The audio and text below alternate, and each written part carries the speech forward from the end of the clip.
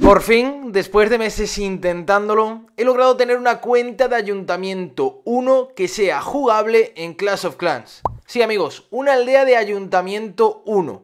Quizás alguno no lo sepa o no lo recuerde, pero esto es un logro enorme porque en condiciones normales es imposible tener un ayuntamiento de nivel 1, ya que nada más descargar el juego y jugarlo por primera vez, la propia aldeana del tutorial nos obliga a mejorar nuestro ayuntamiento a nivel 2. Por eso, que haya logrado escapar o evitar el tutorial es algo bastante raro y en el vídeo de hoy os voy a contar cómo lo he hecho, por si alguno de vosotros quiere hacer lo mismo que yo y tener una aldea tan llamativa, tan exótica, tan diferente y tan única en Clash of Clans. Además, os animo a que si queréis una cuenta así, os motivéis a empezar cuanto antes, porque hoy en día han permitido hacer desafíos en TH1 y esto aligera un montonazo el conseguir una cuenta de Ayuntamiento 1. Antes de entrar en materia, os recuerdo que tenemos un sorteo activo de un paisaje tenebroso y para lograrlo simplemente tenemos que llegar a 350 me gusta entre todos. Debéis estar suscritos y dejar un comentario acerca de qué os parece esto, si os resulta llamativo, si sabíais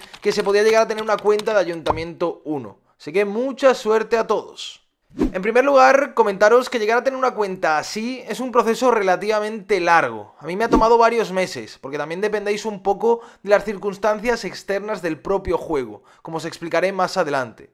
El objetivo es ganar experiencia para subir de nivel, y actualmente Supercell permite jugar los desafíos mensuales incluso siendo Ayuntamiento 1, algo que antes no era posible. Así que ahora es mucho más fácil lograrlo. Conseguir un TH1 no requiere excesivo trabajo, pero sí que necesita constancia. Requiere que iniciéis sesión al menos una vez cada dos semanas para dedicar unos minutos a eliminar obstáculos. Os pongo en contexto. Cuando descargamos el juego y comenzamos a jugar, se nos abre un tutorial en el que una aldeana nos va indicando cómo funciona el juego. Este tutorial obliga a mejorar el ayuntamiento del nivel 1 al nivel 2. Mientras está activo el tutorial, la interfaz del juego está restringida. Sin embargo, con el uso de ciertos enlaces, de ciertos links, es posible permanecer en nivel de ayuntamiento 1. Esto se debe a que el juego permite el uso de enlaces para acceder a páginas específicas, como ocurre cuando nos ponen un enlace durante un evento para ganar unas pocas medallas. Y esta función también está activa para las cuentas de TH1, para las cuentas que están inmersas en el tutorial. Simplemente pinchando en los enlaces que os voy a mostrar en este vídeo, podéis ir cumpliendo los logros que se necesitan para llegar a tener un ayuntamiento 1 jugable y desbloquear el tutorial. El logro fundamental que tenemos que alcanzar es poder llegar al nivel 10 de experiencia. Sí, nivel 10. Por primera vez en Clash of Clans vais a ver que subir nuestra cuenta de nivel importa para algo. ¿Por qué nivel 10? Pues porque por alguna extraña razón que desconozco, al llegar a nivel 10 ya no estamos obligados a mejorar nuestro ayuntamiento al nivel 2. Primeramente, como no, es fundamental crear una cuenta de Supercell ID para asociarla a esta nueva cuenta de TH1 y poder cambiar entre las distintas cuentas que tengamos. Por ello, lo primero que debéis hacer es crearos una nueva cuenta. Por si alguien no sabe, os comento brevemente cómo se hace. Estando en nuestra cuenta actual, vamos hacia la parte inferior derecha y pinchamos en el icono que tiene una ruedita. Ahí hacemos clic en abrir en la parte superior derecha, damos al icono de engranaje y sencillamente pinchamos en cerrar sesión. Seguidamente le damos a jugar sin Supercell ID y ya se inicia nuestro tutorial con la aldeana, el cual tenemos que seguir hasta que se nos pida que mejoremos a nivel de ayuntamiento 2. Ahora tenéis que pinchar en este enlace que os dejo en la descripción del vídeo, como todo el resto de enlaces que vais a necesitar. Pinchando en él podéis ir a la página de Supercell ID y registrar vuestro correo. Utilizad un correo distinto al que tengáis en vuestras otras cuentas. O bien, si ponéis símbolos como puntos o comas en el mismo correo, podéis usar un solo correo para varias cuentas aunque esto no lo recomiendo. Por ejemplo, si vuestro correo es pepitoclass.gmail.com, podéis poner p.epitoclass.gmail.com y simplemente con eso veréis cómo el enlace del Supercell ID os llega al mismo correo que tenéis en la otra cuenta. Aunque como digo, yo os diría que mejor una cuenta para cada correo. No sé si alguno se ha preguntado en algún momento cómo funcionan los niveles de experiencia en Clash of Clans. Bueno, ya sé yo que nadie se ha preguntado nunca esto, pero yo os lo voy a explicar levemente. Los primeros niveles de Clash of Clans se utilizan esta fórmula para calcular la experiencia necesaria como para subir a un siguiente nivel. 50 por nivel en el que os encontráis menos 1. Para alcanzar el nivel 10, por tanto, es necesario un total de 2.250 puntos de experiencia. Parece poco, pero llegar a esta cantidad va a ser nuestro mayor objetivo. Hasta hace no mucho tiempo, la única forma conocida de ganar experiencia en nivel 1 era usando el editor de aldea por medio de este enlace con el objetivo de ir eliminando obstáculos. Aparece un obstáculo en tu aldea cada 8 horas más o menos, el cual otorga 3 de experiencia cuando se elimina. Esto permite un máximo de 9 de experiencia por día. A este ritmo se necesitarían unos 250 días o un poco más de 8 meses para alcanzar el nivel 10. Además, también aparece una caja de gemas cada 7 días que otorga 5 puntos de experiencia cuando se elimina. Nuestras aldeas pueden albergar hasta 45 obstáculos a la vez, lo que significa que puedes pasar unos 15 días sin eliminarlos antes de que se detenga la producción.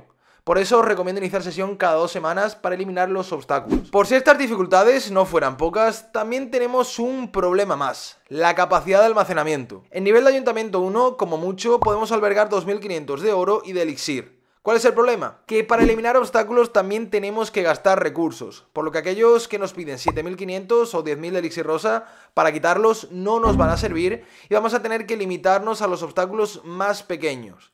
Llegará un punto en el que todos los obstáculos de nuestra aldea serán árboles grandes y necesitaremos más recursos. ¿Qué hacemos en ese caso?